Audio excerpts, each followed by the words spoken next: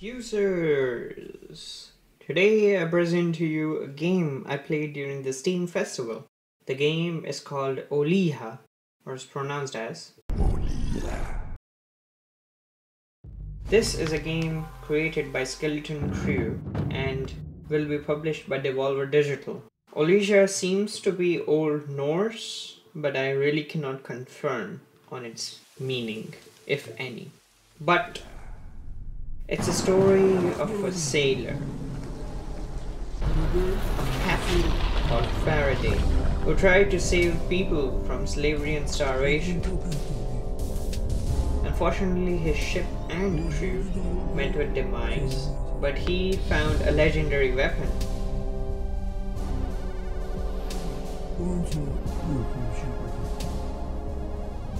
Harpoon of Legend is the name of the weapon, he was trapped. Trapped and imprisoned by Clan Rottenwood.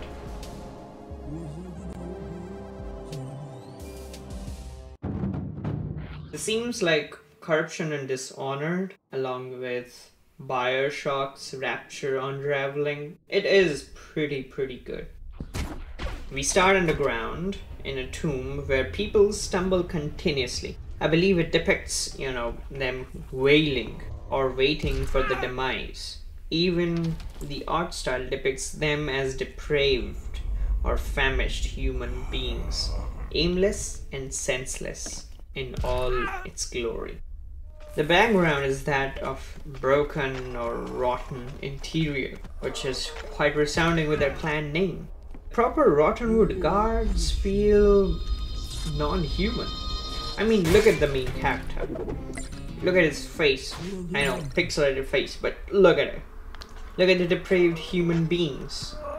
Even the archer enemy, who seems to be a mercenary, is what I imagine. They all seem to be human. But these guys have faces. They're only possible after being rotated 90 degree clockwise. I mean, they are seriously effed up, bro to the point that when you're fighting them, they usually have an extra feature like wings. Their spear style feels okay. I mean, human. I don't know why they don't have metal wings straight up and just go OP. But the plot progresses. You feel some memories reveal.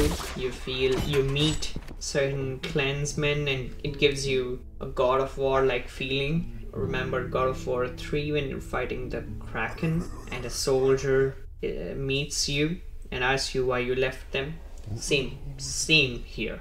Literally same. But it's really lovely. It gives you a look into the man that he was trying to be and utterly failed. The legendary harpoon, though, comes to his rescue. It gives him hope and power that he direly needed. He fights against these Rottenwood guards, mercenaries, and traverses through this intricate maze of a prison. There's also a goodie I want to discuss, but that will be for last. So let's jump to the rest, which is music. It is amazing. I mean, the sound effects are pretty timed and cute. I mean, have you seen them pronounce names? Like, look at the pronunciation of Oliha. And them narrating a story. Wow. Like it is pure goodness. I love it. Then there is um, the art style, which believe me, I find pretty appealing. As you may have seen in my gameplay, I usually wander around to see if there's, you know, anything hidden, even though this is a demo. I, I really love that. And that what and that's what makes me look forward to the full game. There is though a special special goodie which made me wanna not only make a video but also just feel but also just want to relish the experience and that is the final boss fight.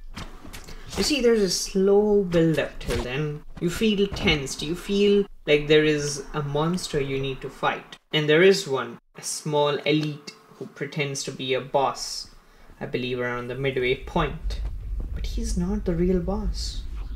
And when that guy comes, wow.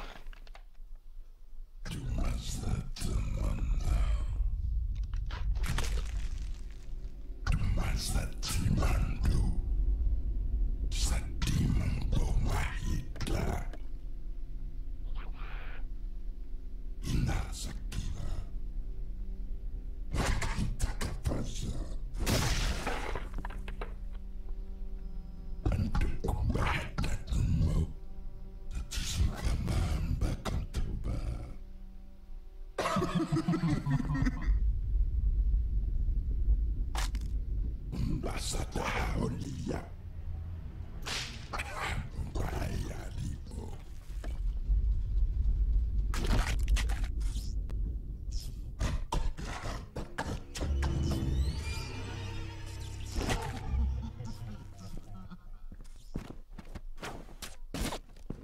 It is amazing. His entry is staggering along with that music and the health bar. You have to fight him. He changes tactics all the time. He's flying like a godly being. His voice is gruesome. It's filled with bloodlust. Ah, like everything is done to perfection. I love the boss. Okay, must say I am in. I have a crush on the boss. Okay, like that's how good he is. He has um these Rottenwood clans member on deploy, which is which I find pretty hilarious. It's like he has a pocket dimension to store these idiots. And um, there are also some combos which I learned right before the boss fight. Like there was, it's so dumb of me. But yeah, there was. Um, I just used the harpoon to literally traverse through the map, and the only attack which they taught me was um, aim, shoot, hold, and once you know those spikies come, just fresh dash and yeah, the, the guy gets skewered. There was also a sword, a bow, and pretty pretty helpful. You really need to look into them, as the boss fight will not be done without it because the harpoon's not working most of the time. And you have to wait for the boss to, you know, come to the ground and then slowly reap his health. Then when he flies around, you have to wait for wait for it to throw grenades, clans member, knives, whatever it wants. It's amazing. Wait till he throws himself and repeat. Rinse and repeat.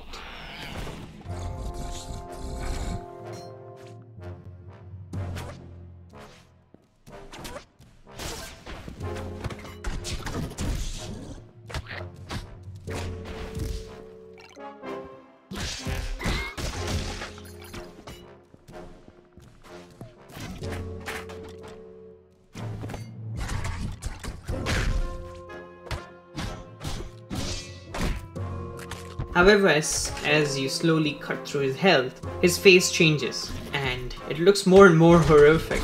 Like there are times where you feel genuinely petrified. I mean, look at this face. Dude, the boss actually retreats. Like you have to go to the other side to finally kill him and oh my god. It's amazing. Like the animation, the artwork and everything is mind-blowing. I really love the boss fight, okay? More than more than anything. I, I know the concept of a harpoon is pretty unique and I should focus more on it along with its combos, but the boss takes the cake. It really does. So this is more of a love letter than analysis. I must say. But I'll, I'll, I'll title it Analysis or Review of Olija demo. Is it Olija Olija? Ah, I'm never sure. But the game's right, so yeah.